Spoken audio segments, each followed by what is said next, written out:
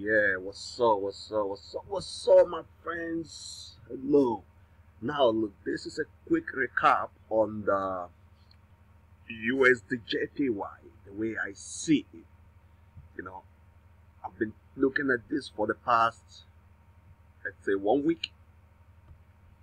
Okay, for the past one week, I've been taking a look at this and, you know, been giving us a kind of bearish signal. Okay. I started following this because I see a kind of bearish signal. So I think this is now the time to, you know, do a kind of simple analysis. Very simple. Not don't want to talk too much about this thing. Okay. Actually, if we're gonna go bearish, right? You know, um, let's see. If we're gonna go bearish, definitely. Uh, definitely, we have a kind of box to break. Okay, we have this box here to break. So it means that the US, the JPY have to turn around and we break this box here. Let me put a green line on it.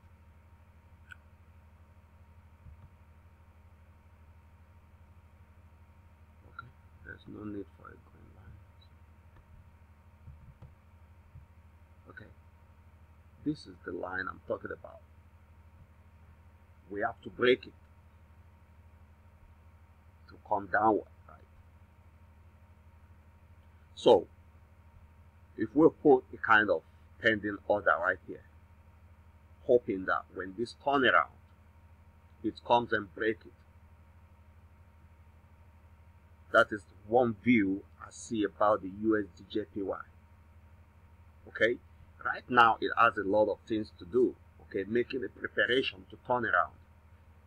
You know, all this turnaround strategy has a lot of things to do because all this time frame need to align together from the smallest time frame up to the daily they need to align together and then the, the big moves will come so what this is doing now is that it, it needs to align with the daily okay? This is one hour time frame okay? All this small uh, time frame from one minute to one hour you know one hour till the daily they have to align together before the drop will come.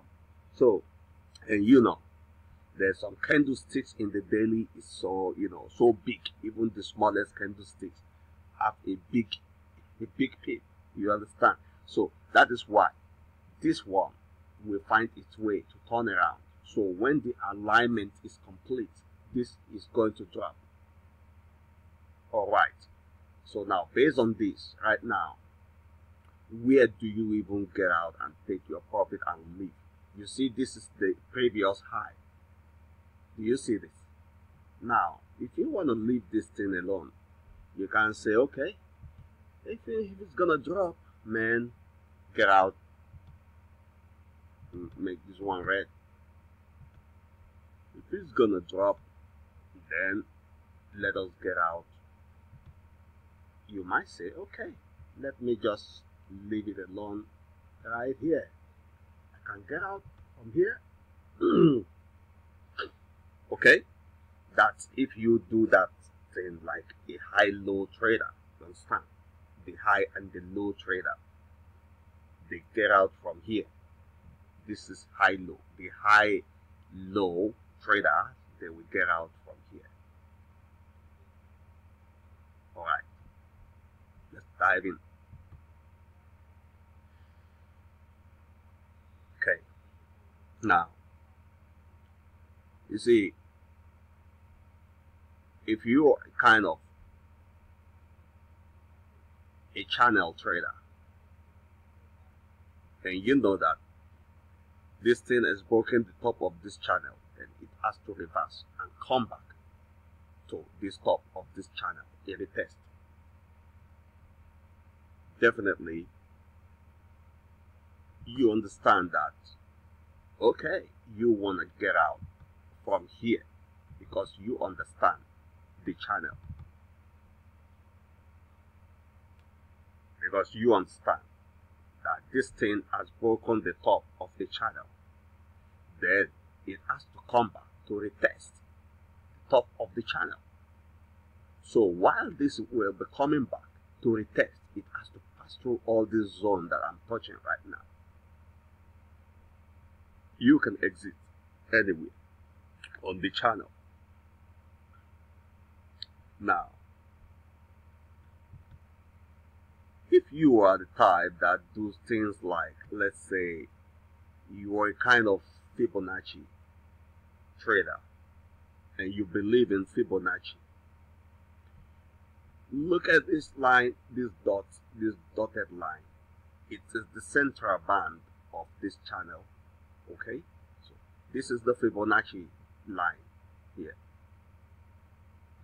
okay you know that when you if you know about this Bollinger Band strategy that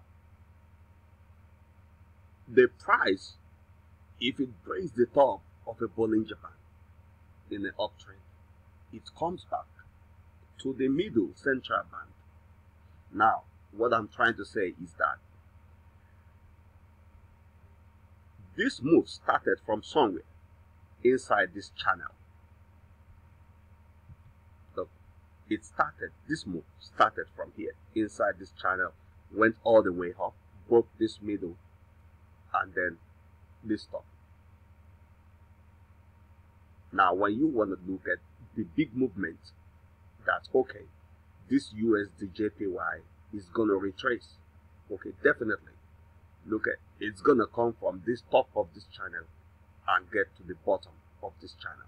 Okay, so what we do in this case is that in your own case, if that is where you want to exit, you say, okay, I want to exit when it gets to this central Fibonacci band.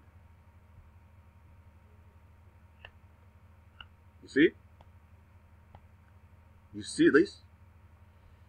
If you are a support resistance trader, I guess when you look at this thing up here, it's a resistance. You can say, man, from all this analysis, if I'm a support resistance trader, I better get out at this support level here. Do you understand? This move is uptrend. It's uptrend, but it has to come into correction. You see, this support resistance zone this is where support resistance trader will exit. And this support resistance trader will be looking to buy at this support level where they found support. They will buy. Now, the trend line traders. A trend line trader believe that now. Look, price broke this. Uh, what is this? This is a moving average. Price broke it and a trend line trader believe that. I mean, a moving average trader believe that. When the price have broken that moving average and gone far away, it has to come back to retest that moving average.